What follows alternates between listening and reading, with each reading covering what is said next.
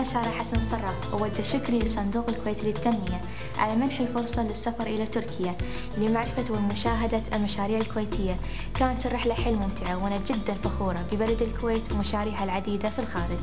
أكثر من 100 دولة حول العالم تلقى فيها اسم الكويت على العديد من المشاريع التنموية.